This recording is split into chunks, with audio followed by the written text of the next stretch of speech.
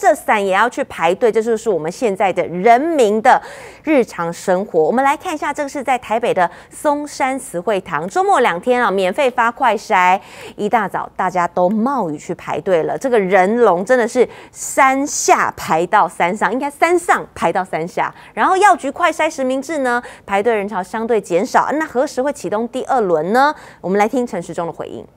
大家距离保持出来。上千位民众一早冒雨到台北市松山池会堂排队，就是为了领免费的快筛试剂。排队人龙一路从山上排到山下。凌晨四点多，他就外面快筛很难买啊。一个一个来，不用急哈。妙方提供四千份的快筛试剂，周末两天分成上下午，让民众免费领取，一人限拿一份。上午九点开始发放，十七分钟全数发完。原来妙方送的是韩国制的基因八 D 快筛试剂，号称只要戳入鼻内一点五公分即可检验，相较泰博二点五公分以及雅培两公分，算是深入最浅的一款。太浅的时候可能会出现假阴性的结果。庙宇免费送快筛，吸引民众大排长龙。药局卖的快筛实名制，相对人潮却比前阵子少了许多。周末下午开卖，不到三十人排队。显然，民众对于快筛的需求已达到某种程度的满足。快餐实名制排队潮相对减缓，十三号中午一千四百家售完，但十四号中午只有七百九十五家。指挥中心原定五月十五号上路的第二轮实名制尚无规划，配送制度暂不更动。还没有产生那样的一个大量的差异的时候，我们现在还不会来调整这个各个的供应量，还先照着这样的供应量继续做。另外，多家跨境电商看准需求，提供民众上网订购国外快筛试剂，最便宜一剂六十二元，引发抢购潮。但要提醒民众，如果不是国内通过 EUA 的快筛试剂，就无法用来做任何证明。记者王志文、王义仲台北报道。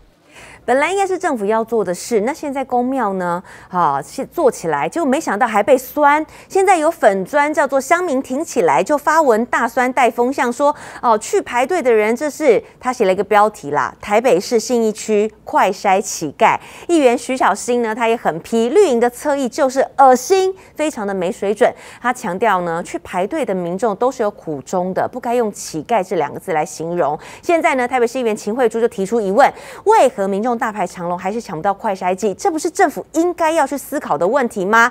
许淑华今天也尴尬回应，她说：“用乞丐这两个字对民众来说很不公平。”侧翼就是没水准、没下限。上一次有一个叫做科学先生的粉丝页批判民众呢，哎，排快筛抱怨连连，但你怎么不去说你自己排拉面的时候排队排的这么开心，根本是巨婴？这种呢逻辑坏死的说法，现在又在另一个没良心的粉丝页出现了。慈惠堂他们呢体谅民众买不到或是有困难买快筛的辛苦，免费发放四千剂的快筛，很多的民众都去领。那每个人可能都有自己的苦衷以及困难，可是有一个叫做乡民挺起来的绿营侧翼，竟然说他们是快筛乞丐。我就想要问民进党，你们在脸书上面呢，昨天才做了一个图卡去挞伐国民党，说呢国民党在乱，国民党没有与人民站在一起的决心。那你敢不敢？去批判焦糖，去批判周玉蔻，去批判这一些侧翼的粉丝页，还是呢？只要跟你站在一起的，你就可以装作没看到。民进党放任侧翼治国，小编治国，我相信最终一定会被真实的民意反噬。这些侧翼粉丝页就是一句话：恶心。中山慈惠堂把他们从举办母娘文化祭当中节省下来的钱，买了快筛剂发送给民众。连续几天虽然是下着大雨。大家都大排长龙去领取，这显示呢有慈善单位愿意做好事，民众都非常的喜欢，也显示了大家都需要快筛剂，而每剂一百块对很多人来讲，它还是属于一种不太呃小的负担。但是也有一些乡民就用快筛剂乞丐来形容，我觉得这对做慈善工作的社福单位以及对民众都是非常不好的。像我们自己也常常去菜市场发防疫物资，包括了酒精啊、干洗手啊、口罩等等，大家都非常的欢迎。在这个疫情时代，能够每一个人、每个团体尽自己的力量帮助大家，我觉得都是好事。反而是政府需要受到检讨。为什么我们的快筛剂卖的比国外贵，而且就算是大排长龙也抢不到？怎么样民众可以买到既便宜又好的快筛剂，而且不需要天天排队？这是政府需要去尽全力来想一想的。我觉得这样子有点真的太沉重，而且有点在污名化。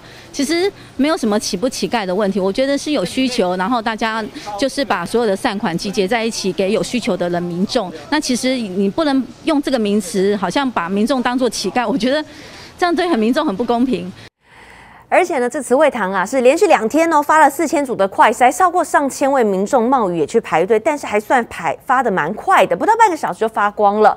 其实对一般上班族来说，快筛剂真的很难买得到，因为呢，你平常要排队的时间你就在上班呐，所以在发放现场又忍不住，民众就炮轰了。他说呢，让我们每天去排队还实名制，真的是可笑的政策，无能的政府。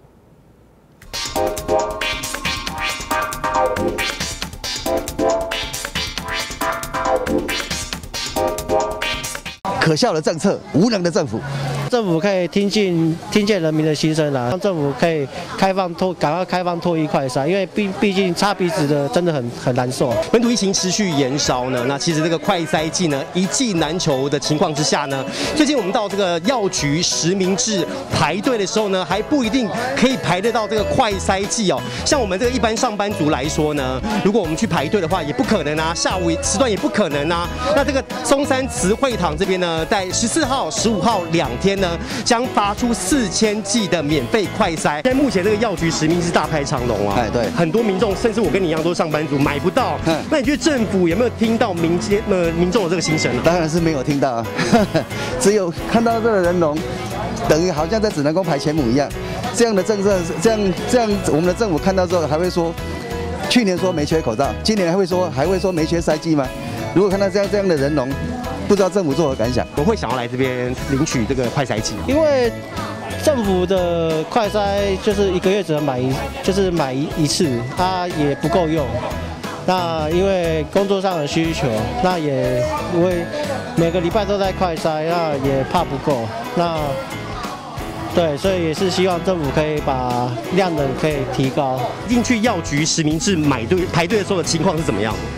蛮长的，因为想要药局是九点开门，大概七点半就有人在开始排了。那因为我们要上班，比较没有那个时间去排。我们一家有六口的话，你说一个人只能买一季的话，那我们都要排几次？所以大家都很买得到，很担忧。对呀，对呀，哎呀。政府有没有听见人民的心声？应该有吧，只是他没有办法做到啊。市政府的防疫措施做得好，是我们人民大部分讲白一点是怕死，但是讲贴切一点，应该说关心自己的家人。所以不是我们愿意排队，而是我们不得不排。你觉得政府有没有听到民众的这个心声？那应该看不出来，政府没有反应的。对啊，对啊，对啊，都要看到怎么办呢？啊，老白已经自求多福。我们说现在疫情延烧，有医生就评估哦，高峰还没来。来这个时间点，我们大家也关注一下哈。最近呢，尽量在外不要多口罩，保护自己也保护家人。五月二十二号，这是专家说，单日可能呢会新增十二三万本土确诊。那对此呢，今天指挥中心回应哦，他说呢，这是综合推估的趋势，高峰五月三十到五呃五月二十到三十，就是五月底之间都有可能。那慢一点就是五。月底了，那重点是我们现在看这个死亡人数，昨天四十一，今天四十。指挥中心也宣布，下个礼拜一开始，六十五岁以上的长辈，还有免疫力低下的三类人，可以开始打第四剂疫苗。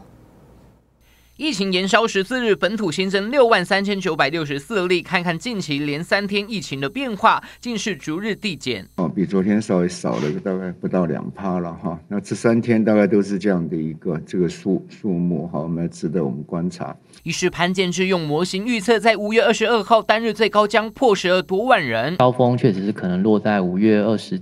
呃，到三十这段期间哈，那如果快就是五月二十左右。现在看起来就是说我们还没有到达这个低低推估啊，所以当然未来就是说高峰的部分是有可能会先看是不是会达到。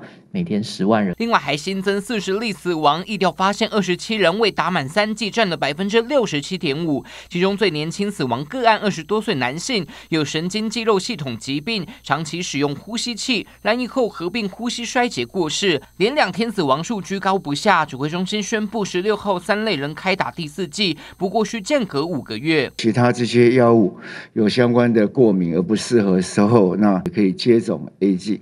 哦，不过基本上我们还是建议以其他的 mRNA 或者我们这个蛋白质次单元的疫苗为主了。另外，透过 COVAX 已购买两百万剂 Novavax 疫苗，食药署将召开专家会议，拼一个院内审查完毕，未来到货也能当第四季使用。第四季下周开打，台北市十五号先开放预约，新北市三十九家医院、四百六十五家诊所下周施打，高雄市则有四百三十五家合约医疗院所预约接种。高风险族群开打第四。四季希望把这波疫情带来的伤亡给降到最低。这余盛行、杨宗燕台北报道。好，现在疫情这么紧张，但中央坚持的这个政策是 PCR 阳性才能给药，就是你如果自己筛阳性，你要去 PCR 排队去 PCR 才能给药。现在双北首长搬出说，快筛阳性的确诊率已经高达百分之九十七，要求不要再让民众苦等 PCR 结果了。我们来看今天陈时中怎么回应。疫情还是相当严峻，两位市长持续向中央喊话，要放宽快筛阳视同确诊就给药，但中央依然坚持至少要等到 PCR 阳性才能给药。PCR 一确诊了之后就能够快速的给药，那现在是要朝这个方向来努力。中央还是不松绑快筛阳当成确诊依据，但双北也搬出实际数据催促中央。新北光是社区筛检站阳性率就高达百分之九十七点零四，而北市的木栅车来素阳性率更突破百分之九十七。七点八，换句话说，在双北裁剪的民众快筛阳几乎等同 PCR 确诊。两位市长再度齐声喊话，放宽确诊认定标准，刻不容缓。在这样一个时间的等待上，最宝贵的三天甚至五天，让民众那个焦虑感、不安感在。快筛阳视同确诊，跟着有症状，快筛阳符合适应症，排除禁忌症，然后注意药物药物的交互作用，这五个程序。那再去给药，快筛阳这一项，它被 PCR 法律认证这个因素卡住了，延迟用药，会造成它更多的住院，也会后果会更严重。高风险群有给药，它的住院会下降八十几 percent 的哈，将近九十 percent，那这样会减少这个医疗量能被挤压。行政院长苏贞昌下令要在北北基桃增加九个筛检站，但柯文哲也批评这根本不切实际。不要乱下命令了，不是只有只有裁剪，你后面再裁剪以后。后面那个 PCR 实验室要找谁合作？那资料怎么传回？要怎么上传？这都都要都要要要弄清楚才可以。当中央的政策没有因地制宜，恐怕也只会徒增医护的工作压力。记者谢宏如、徐国豪，SNG 小组台北新北报道。